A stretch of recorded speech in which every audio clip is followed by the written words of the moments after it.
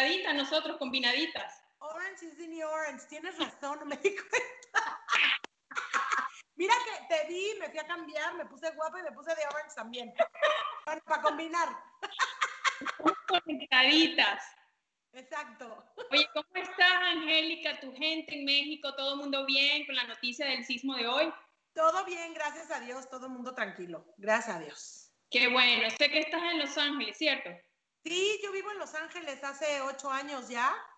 Este, lo sé porque llegué embarazada y a los dos meses tuve a mi hija. Entonces, llevo, llevo los años por mi hija, pero sí llevo ocho años aquí en Los Ángeles. Muy contenta, la verdad, pero sí extraño México muchísimo. Sobre todo ahora con esta pandemia que no puedo ir, eh, se extraña mucho más. Oye, ¿cómo has vivido la pandemia entre mamá, maestra, esposa, cocinando, trabajando desde la casa? Pues sí, la verdad es que tengo un programa de radio de 6 a 10 de la mañana, entonces eso me ayuda porque en las mañanas salgo y, y siento que ya serví de algo, ¿no? Pero regreso a la casa y sí he estado haciendo muchas entrevistas, muchísimas, como ahora pues no hay que esperar a ir a Miami o a México para hacer las entrevistas, sino que las puedo hacer desde mi casa.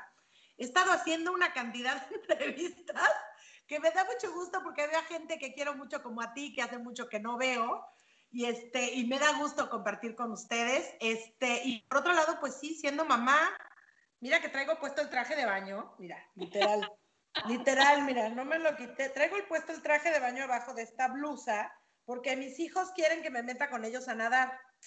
Y, y no me creían. ¿Te toca nadar? No me creían y entonces me tuve que poner el traje de baño y ahorita que me estaba cambiando para la entrevista llegó Angélica y me dijo, ¿te vas a quitar el traje de baño? Y dije, no, mi amor, me lo voy a dejar, me lo voy a dejar y ahorita nos metemos a nadar. Entonces... Hoy mamá, te entiendo perfectamente, perfectamente. Y lo que decías de las entrevistas es súper cierto. Además, ahorita no puedes decirle a la gente, es que no puedo dar la entrevista porque estoy ocupada, porque tengo un compromiso. No, no hay excusa. ¿Sabes qué es lo fuerte? Yo sí he tenido que decir que no a muchas entrevistas porque estoy atascada de entrevistas. Entonces, yo sí he tenido que decirles, no, espérenme tantito, este, el próximo mes te lo prometo. Bueno, cuando estaban los niños en la escuela, sí les dije, ¿saben qué? espérenme un segundo, dejen que salgan de, de, de, vacaciones, acaban de salir. Y la verdad es que sí estoy como respirando nuevamente, ¿eh? Qué cosa, porque la escuela sí me dio duro con Angélica. Empezaba yo, bueno, a las 10 de la mañana salgo del radio, llego aquí 10 y cuarto, porque hasta, hasta eso estoy cerca, 10 y cuarto, 10, 20, no hay tráfico en Los Ángeles. Una maravilla de ciudad. Y, pero sí, a las, como a las 10, 20 ya llegué a la casa y era de las 10 30 hasta las 3 y media de la tarde sin parar. No, y cuando te hacen la pregunta, la bendita pregunta de, ¿y esta fracción cómo se resuelve, mamá? Y tú, Gracias a Dios, mi hija todavía no está en lo de las fracciones. Gracias a Dios. Pero...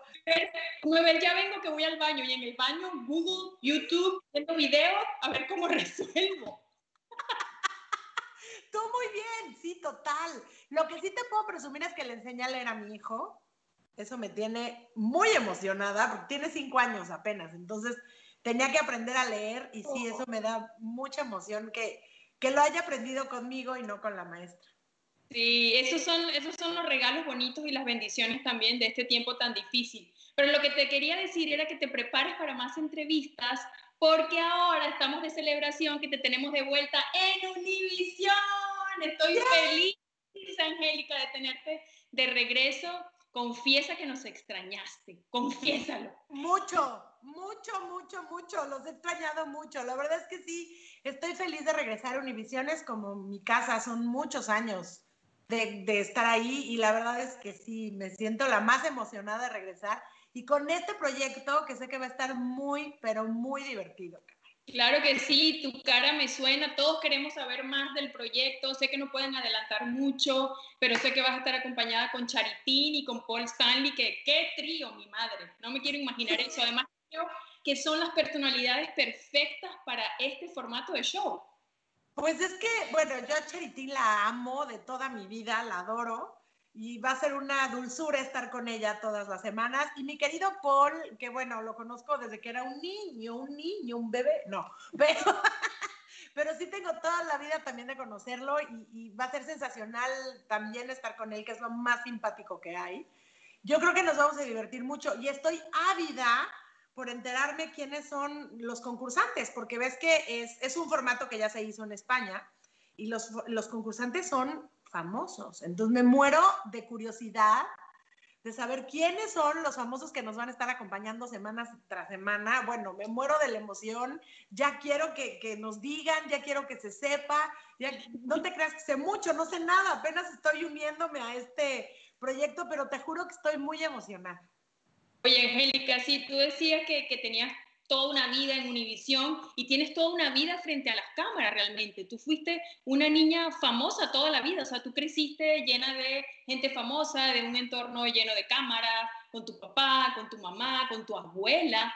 Eh, y yo hoy en día cuando veo a mi hija que quiere entrar en esto de la televisión y que ya le está gustando todo esto, me preocupo. ¿Qué recuerdas tú de esa época? ¿Crees que sacrificaste parte de tu infancia por eso, Angélica? No, la verdad es que yo no, yo, yo hubiera sido muy infeliz si no me hubieran dejado hacer lo que hice, porque yo sí supe desde muy chiquita lo que quería hacer y me subí al escenario y, y hasta que no nacieron mis hijos no hubo nadie que me bajara, porque amo el escenario profundamente y, y, y yo creo que yo hubiera sido muy infeliz. Creo que fue un, pero tuvo mucho que ver mi abuela. ¿Sabes? Ahora, eh, si Angélica me dijera, ahorita mi hija me dijera, mamá, me quiero dedicar a esto, quiero actuar, pues va y se acabó mi carrera, porque me tengo que quedar con ella, cuidarla, tengo que estar con ella, porque el problema de los niños artistas, creo, es que los dejan solos. Y creo que por eso pierden mucho, tienen que crecer muy rápido, porque se tienen que cuidar de muchas cosas. Pero si tú tienes a un familiar al lado que de verdad te quiera y de verdad te apoye, como yo tuve a mi abuela, por ejemplo, que fue la que me cuidó y estuvo conmigo siempre, la verdad es que yo no sentí que se me fuera nada. Yo estaba jugando, yo no estaba trabajando. Yo estaba jugando. Tu abuela creaba obras de teatro para ti, para que tú las hicieras. Imagínate eso. Imagínate, o sea, era como, oye, quiero ir a Disneylandia. Oh, ok, te hago tu Disneylandia, ¿no? O sea, era como, quiero ser Dorotea en el Mago de Oz. Ok, perfecto, ponemos el Mago de Oz. Iba mi abuela, se mataba por conseguir los derechos de las obras.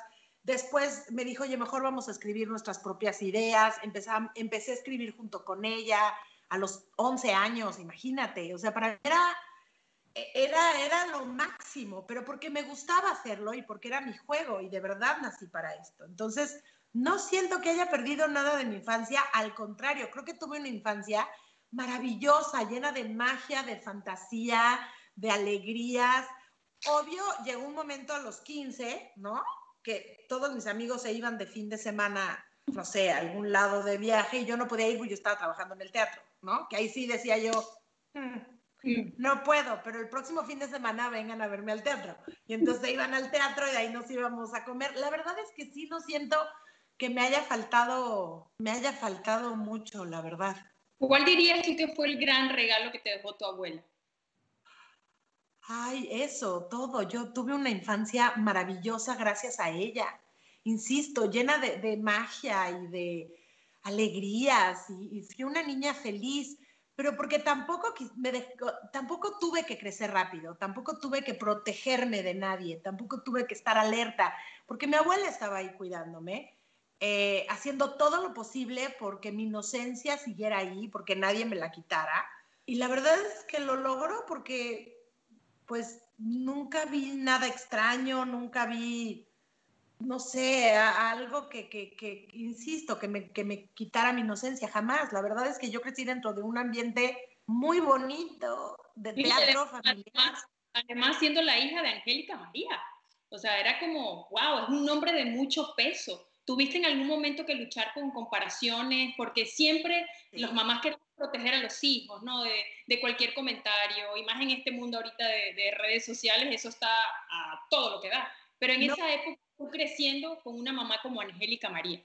Sí, no, ahorita está peor que nunca, porque además cualquiera se puede escudar detrás de una foto que quizá ni siquiera es la, bueno, un avatar que ni siquiera son ellos, y escribir cualquier cosa, ¿no? Es muy fácil, pero, pero yo sí, sí sufrí comparaciones, pero mi abuela, te digo, yo tuve la fortuna de crecer al lado de ella, mi abuela siempre me dijo, ¿tú quién quieres ser? ¿Tú quieres ser Angélica Vale o quieres ser Angélica María?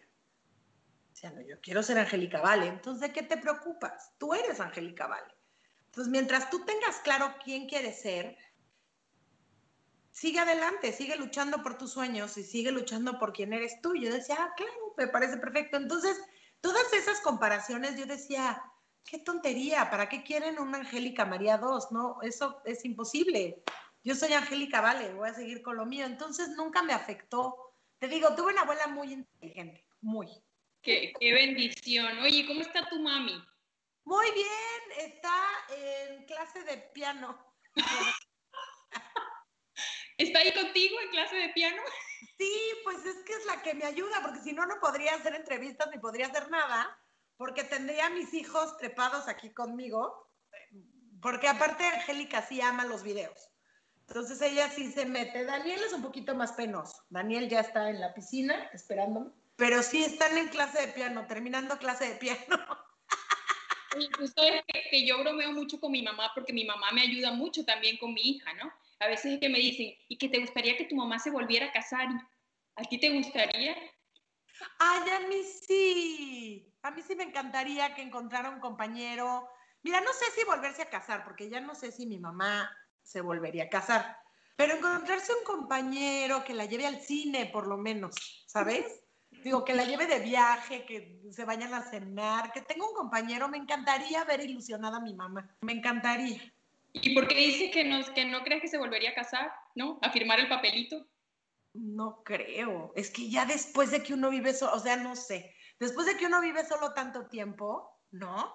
Mi mamá lleva viviendo sola, ah, caray, pues como 30 años. te acostumbras mucho a ti y dices, ay, no, no me vuelvo a casar. Yo creo que no se volvería a casar. Pero un compañero sí me, me encantaría que lo encontrara un novio, un galán. Me encantaría. O si se quiere volver a casar también, que se case. sentimental. Mira, yo creo que si llega Robert Redford, a ese no le diría que no. Oye, Angélica, hablando de trabajo, tú has participado en infinidad de proyectos y te aseguro que si hablamos con tus fans, los que más recuerdan son soñadoras, eh, amigas y rivales. Me comentaban mucho hoy también cuando anuncié que iba a conversar contigo. Eh, ¿Cómo te sentías en estas grabaciones? Porque yo pienso hoy, nosotros que tenemos hijas, ¿no? Eh, el tema de la apariencia física se ha vuelto una obsesión para las niñas hoy en día, ¿no? Y, para, y las mamás tenemos una gran misión de enseñarlas a tener esa relación sana con su cuerpo. He escuchado a ti en algunas entrevistas decir que no, no es que yo tenía unas libritas de más, es que ellas estaban muy flacas. En esas grabaciones siempre se daban esas comparaciones, ¿no? ¿Cómo lo vivías tú? Pues es que también en Soñadoras yo hice un personaje que salía de bulímica. Entonces yo me la pasaba diciendo en la telenovela, estoy gorda, estoy gorda, estoy gorda. Y la gente como que nunca entendió que era mi personaje y no era yo. ¿Sabes? Yo nunca tuve ese problema, al contrario, como que la gente era la que decía, es que sí está gorda, porque veían a Michelle Viet, que es muy flaca, la adoro, pero es flaca, flaca, flaca, ¿no? Y yo que sí tenía mis curvas desde muy chiquita, mis buenas curvotas, entonces yo decía, híjole, pues, pues sí, no estoy tan flaca, pero, pero yo me siento bien. Después siguió Amigas y Rivales, que también igual era eh, ahí, ahí las que subimos de peso era, fuimos este, Ludvika, yo Ludvika por un problema que tuvo fuerte en los riñones, una cosa así, no me acuerdo bien. Y yo también subí de peso al final por un problema que tuve también de sueño. No, no, no, fue, pero, pero, pero vamos, subimos X, muy poquito. Y sin embargo nos criticaron muchísimo. Entonces, sí fue fuerte, fue muy... Y ya de ahí, yo creo que de la telenovela de Soñadoras fue que me agarraron fama de gorda porque realmente estar subida de peso, de yo sentirme mal, fue hasta ahora que tuve a Daniela, mi segundo hijo, que ahí sí me puse muy mal, me dieron muchas hormonas para poder tenerlo y subí, que qué cosa, yo decía, ¿qué es esto? Y ya sabes que si, bueno, ¿estás de acuerdo que si dejas de comer, si te lo comiste, dejas de comer y adelgazas, ¿no? Pero si no te lo comiste, ¿cómo adelgazas? Claro, la gente no está consciente que muchas veces es un problema hormonal, que va mucho más allá de la comida, ¿no? Exacto, entonces yo decía, yo comía de lechuga y ya sabes, nada de lácteo y súper sana y proteínas, y no bajaba un gramo yendo al gimnasio todos los días, y yo decía, ¿qué es esto?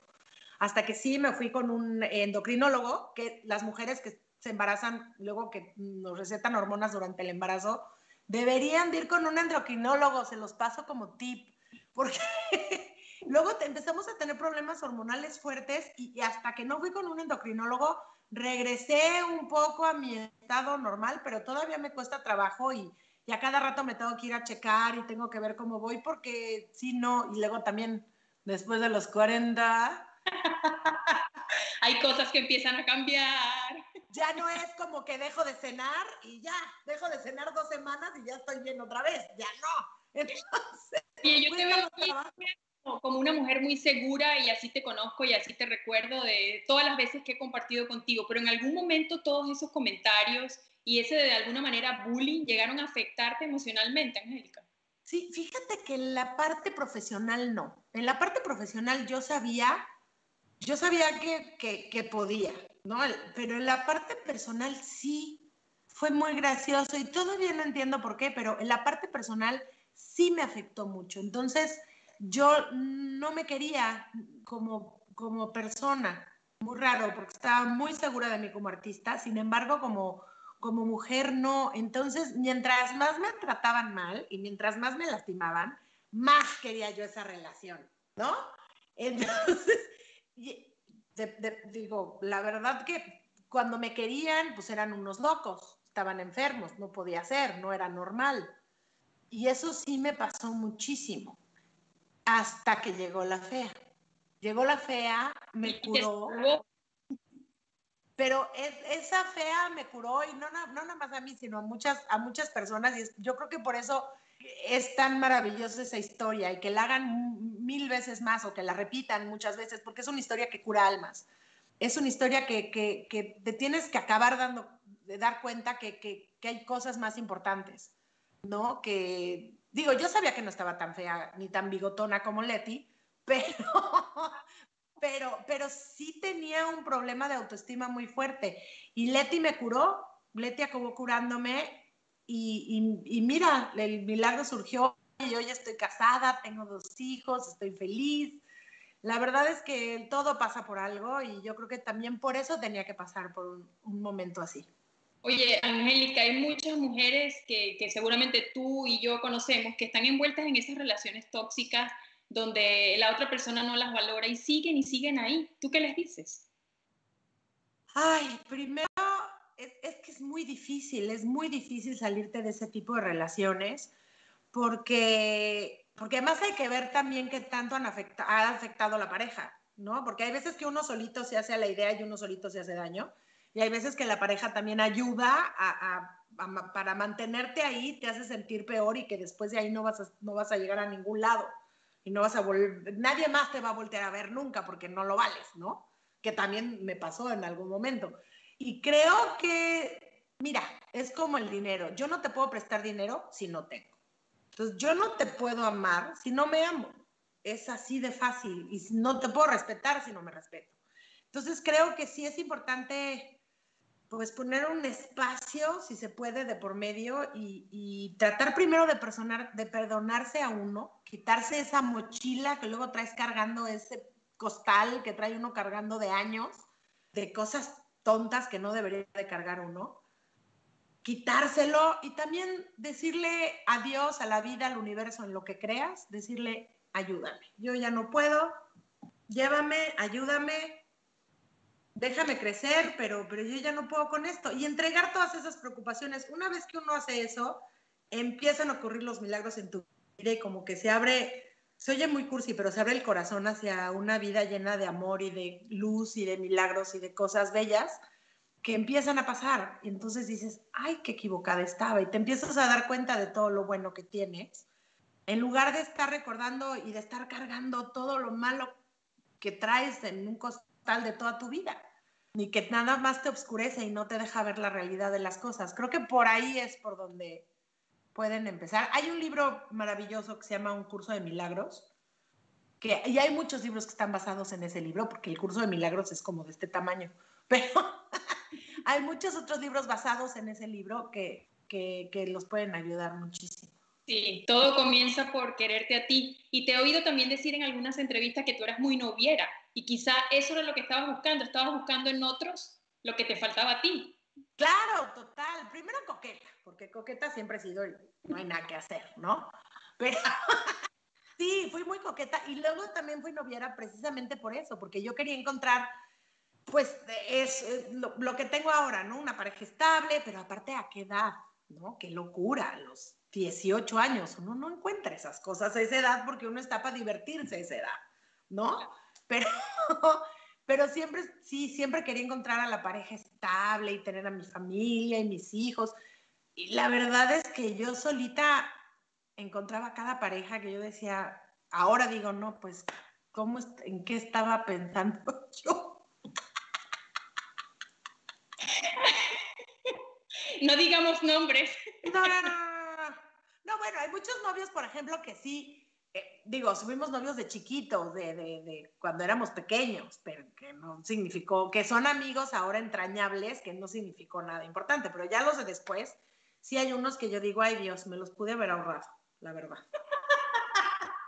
Oye, ¿y cómo, cómo entonces te convenció Otto para casarse? Ya que tú venías de, de este novio, del otro, y de atraparte y decir, bueno, aquí te quedas tranquila y nos casamos. Pues es que tuvo mucho que ver con esto. Tuvo mucho que ver con mi cambio. Yo de pronto me quise muchísimo. Mi mamá me decía, oye, Angélica, sal, ten un novio, diviértete. Y yo decía, mamá, sí, ya me llegará, porque ya de pronto dejé de salir. Dice, todo lo noviera que fui se me quitó. Y mi mamá no lo podía creer. O sea, decía, ¿qué te pasa? ¿Estás bien? ¿Te sientes bien? Y yo, sí, estoy muy contenta conmigo misma, muy a gusto, estoy conociéndome me mudo a Miami, cosa que también me ayudó muchísimo. Le hablé a mi mamá y le dije, te vienes conmigo porque ¿qué haces en México? Vente para acá. Y de pronto eh, tuve un encuentro con, con, el que ahora es mi marido, eh, precisamente en un fin de año de Univisión. Exactamente. Ahí fue donde empezó ya todo, porque ya había como un coqueteíto de antes, pero ahí fue donde empezó ya la relación. Pero los dos sabíamos, fue muy, es, ahora que lo pienso, la verdad es muy gracioso porque los dos sabíamos, los dos sabíamos que eso era y que, y que estábamos el uno para el otro. Incluso nada más me preguntó así como, ¿estás segura? Y yo, sí, va, sí, va, ok, ok. Ni siquiera nos pudimos dar un beso porque fue era el 31 de, el 31 de diciembre a las 12 de la noche, bueno, primero de enero, en pleno Times Square, y él era el jefe, entonces no nos podíamos besar. Uy, uy, uy. Entonces fue como muy en clave, ¿no? Oye, ¿vas? Sí, feliz año, jefe, feliz año. Sí, exacto. Feliz, sí, fue en el abrazo de feliz año. Ahí de, oye, ¿te gustaría intentar algo? Sí, claro, ¿segura? Sí, va, va, órale, va. Ya habíamos tenido tres días de coqueteo entero, ¿no? Por supuesto. Pero como que los dos sabíamos que era como el destino, no sé, fue una cosa muy rápido y extraño y no nos volvimos a separar a partir de ese día. Yo sé y seguimos juntos y, y, y sí, era como lo que tenía que pasar, era ya estaba escrito en el destino, no sé, algo muy extraño, los dos sabíamos. Y yo en ese momento yo sabía que me iba a casar con él, sabía que era el papá de mis hijos, lo supe en ese momento. O sea, dije, sí. Oye, tienes mucho que agradecerle a Univisión, Angélica. ¿Te das cuenta? Hasta marido me dio. Oye, y entonces yo te veo a ti y, y, pienso, sí se puede tener todo, se puede tener carrera, se puede tener familia, se puede tener felicidad, ¿no? Una familia bonita. Pues es que depende de uno, uno, mira, si yo me pongo a pensar en todo lo que me gustaría hacer y no he podido hacer, me voy a amargar. ¿Para qué? Mejor veo todo lo bueno que tengo y la maravilla que tengo y entonces soy la mujer más feliz del universo. Tengo dos niños, los cuales me llenan de amor todos los días, que, que mi sueño era ser mamá desde desde que me acuerdo y, y, y, lo logré. Tengo a mis dos milagritos conmigo, que aparte yo quería dos, no quería una, quería dos. Lo logré también, no, terca hasta decir basta. Pero, pero aquí están y me llenan de amor. Tengo el cariño del público, que por más que pase el tiempo, a la fea la siguen recordando tan bonito y tan bello y me escriben luego de lugares que yo ni siquiera me lo hubiera imaginado nunca. Este, tengo a mi mamá conmigo todavía, tengo este, un matrimonio estable, estamos felices juntos. Claro, no es de color de rosa, ¿no? Hay veces que, ay, ay, ya no lo aguanto, ay, ya no lo aguanto, obvio, es normal, en pareja y se vale, ya estés divertido, pero viene la reconciliación y es hermosa y te das cuenta que, que, que es tu compañero de vida, ¿no? Entonces, pues hay que, hay, que, hay que valorar lo que uno tiene, ¿no? Hay que preocuparse y hay que agradecer lo que uno tiene, no lo que uno no tiene. Pero sí, sí se puede ser feliz, depende de uno, es, uno, es una decisión propia. Oye, cuando hablas de eso que te falta, ¿qué te falta? ¿Qué quisieras hacer? Ay, imagínate, yo me, estaría ganándome este, un Oscar. bueno, no, no, no tanto, no tanto, no tanto, exageré. Pero sí me gustaría seguir entreteniendo a la gente muchísimo. Lo que pasa es que sí también llega un momento en el que tienes que hacer un balance y ahorita mis hijos son lo más importante que hay para mí. Tienen ocho y, casi seis años y ahorita me necesitan mucho. Ahorita todo es mamá eh, la verdad es que me tengo que aprovechar porque en unos cinco años más no me van no los voy a volver a ver, no me van a querer ver y entonces en cinco años ya me vuelvo a mudar a Miami y ya puedo volver a trabajar 100%. Pero, Pero por ahora eres mamá y feliz de serlo, además. Exacto. Entonces cuando me llegan proyectos como, como este, como el, como el que tengo ahora aquí en Univision, de regreso, yeah, la verdad es que me emociona mucho porque puedo seguir siendo mamá de lunes a viernes y los fines de semana estar dedicándolos también al público y a mi carrera, porque también es algo que necesito hacer y que amo hacer. Entonces, es, esos son los proyectos que me llenan de emoción ahorita, pero obviamente me gustaría hacer muchas cosas más. Ya llegará, ya llegará mi momento. Quizá backstage como productora, que también me gustaría hacerlo, pero, pero ya llegará. Todo, Diosito, todo pasa por algo y Diosito acomoda todo como debe de ser. Amén. Oye, al principio de la conversación, cuando te pregunté acerca del sismo de México, dijiste México, sí, ¿cómo extraño México? ¿Volverías a México? ¿Regresarías a México, Angélica? Pues no depende tanto de mí, depende más de mi, del, primero del trabajo de mi marido, porque al marido no hay que dejarlo solo. Aprendan. Por eso me mudé hace ocho años. Estaba muy en Miami, pero me mudaron hace ocho años. Me dije, ah, ah, solo no te vas. Entonces, sí, no, no, no, no hay que dejarlos solos. Y entonces, sí, yo creo que eso, eso depende mucho de, primero del trabajo de mi marido. Si él se tuviera que ir para allá, pues sí, nos iríamos todos, obviamente. Este, pero la veo difícil. La verdad es que cada vez la veo más lejana y más difícil. Ahora, más por los estudios de mis hijos, ¿no? Aunque no, me encantaría que nos fuéramos a México y que tuvieran que hablar español a fuerza. Bueno, me encantaría, sería como, bueno, ahorita en la pandemia no, pero... ¿Hablan los dos idiomas? Hablan, mira, es que también yo estoy re loca porque los metí a estudiar francés. Entonces los pobres niños... Tienen confundidos, Angélica. Tienen tres idiomas.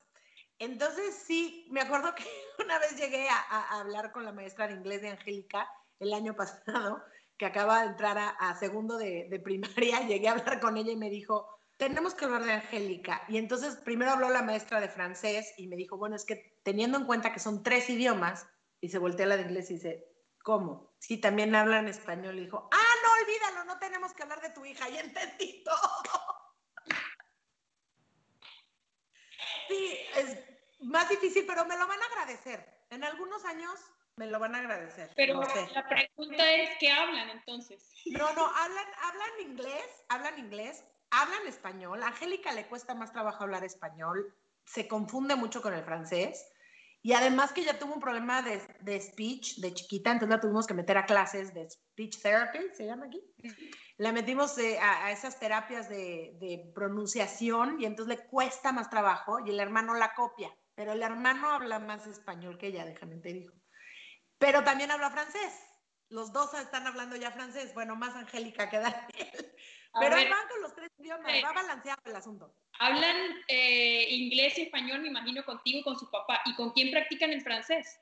En la escuela, conmigo también. ¿Ah, sí? ¿Son perfecto en francés? Yo estudié en la escuela francesa, de ahí viene mi loca idea de que mis hijos también tienen que hablar francés. Y entonces, no te creas, de eso también me cayó bien de la pandemia, porque eh, ahorita está mi francés a todo lo que da, gracias a que me tuve que poner a repasarlo junto con ellos. Yo lo único que sé decir es, je ne comprends pan. Yo no compré pan, no, yo no comprendo nada. Exacto, yo no compré pan. Pero mira, con que llegues y les hables en español, no les hables en inglés a los franceses. Llega y háblales en español. Sí, sí. prefiere que les hables en español, ¿no? Que en inglés. Que en inglés, sí, toda la vida. Sí, sí, sí, sí, sí. Sí, sí, sí. Mira, Angélica, a mí la gente no me va a perdonar que yo te haga una entrevista a ti y que no hagamos imitaciones, porque tú eres la reina indiscutible. Ay, gracias. Yo tengo aquí eh, unos artistas que ya, ya yo te he visto que los imitas maravillosamente y vamos a divertirnos un poco, ¿ok? Yo te los voy a ir nombrando y tú vas a hacer tu arte. Va, va. Bien lo sabes hacer. Talía. El veneno dulcito encanto es la llama que me va quemando. Ay, me voy a comer un brownie. Qué rico, cachito. un encuentro entre la Guzmán y Gloria Trevi. ¿Qué onda? ¿Cómo estás, amiga? De estar aquí contigo. ¡Ah, te lo creíste que venía en serio! Ya. Lavero, Lavero. Ay, ay, ay, la verdad es que estoy bien contenta de estar platicando aquí contigo. La verdad es que aunque sea así, este, pues de casa a casa, ¿verdad? Porque ahorita no nos podemos ver, ni un abrazo te puedo dar pero estoy bien contenta de estar aquí, definitivamente, ¿verdad que sí? Y llega Lucero. Lucero, una cosa elegante, la verdad es que esta pandemia nos ha caído a todos eh, pues un poco bien, porque creo que el estar en casa y razonar y pensar y meditar este, está padrísimo, está increíble, así que no ha estado tan mal, la verdad, una cosa elegante, yo he podido cantar en esta pandemia para todos ustedes canciones que nunca pensé que iba a cantar y estoy, la verdad es que son todos unos adorados y, los quiero mucho. Paulina Rubio. Ay, super Pauish. Este, estoy muy contenta de estar enlazada con ustedes y yo me quedo en causa por una buena casa. Gracias. Silvia Pinal. Ay, Silvia Pinal, no te creas. Silvia Pinal es la que más trabajo me cuesta. ¿En serio? Te lo juro por Dios. Ella sí necesito estar como toda vestida. Me cuesta, no si el trabajo que me cuesta. Creo que tiene una, una forma de hablar muy particular. Entonces, me acuerdo que los programas que hacía con ella eran así como, hola, ¿qué tal? Bienvenidos a Mujer Casos de la Vida Real. Y era tan difícil meterme en ese rollo de Silvia Pinal. Insisto, porque todo el mundo la adora y todo el mundo la conoce, pero esa no sabes el trabajo que me costaba. Esa sí necesito libreto de, de mujer casos de la vida real. Oye, eso te quería preguntar, ¿hay algún artista que se haya molestado o alguien que, que, que hayas querido hacer y no se haya podido? Pues yo creo que, yo creo que a Pauish no le encanta. Pero, pero fíjate que las demás, tanto Gloria como Alejandra, como, bueno, Alejandra una vez así, de plano, así de, ven Angélica, ven, vamos a cantar. ¡Ey, güera! Y me puse a cantar con ella, y yo, bueno, emocionada, y lo hemos hecho en, en, en, programas de televisión, y no, bueno, Alejandra sensacional, Gloria Trevi también, lo he hecho delante de ella, Lucero igual, Talía una vez también me vio y me dijo, ay, a ver, ven, ven, ¿cómo le hago? ¿Cómo, cómo imítame? Entonces, la mayoría, la verdad es que sí les gusta. Verónica Castro incluso me habló y me dijo gracias porque tu invitación me regresó a la televisión. Así que no, bueno, la verdad es que la mayoría he tenido respuestas muy bonitas y anécdotas hermosas con cada una de ellas, que las quiero y las admiro porque si no, no las podría imitar. Mira, aquí te, hicimos una encuesta al comenzar la entrevista. ¿Quién te gustaría que imitara a Angélica? Dice Leti, por supuesto, de la fea más bella, que esa nos faltó y la hacemos ahora para despedirnos. Luego le sigue Gloria Trevi, Talía y La Guzmán. Pero nos faltó Leti. ¡Hola! Es que como ya me depilé. Ay, cierto. Ay, en esta pandemia nos salieron bigotes a todas. Y sí. Todas nos fuimos convirtiendo en letis poco a poco.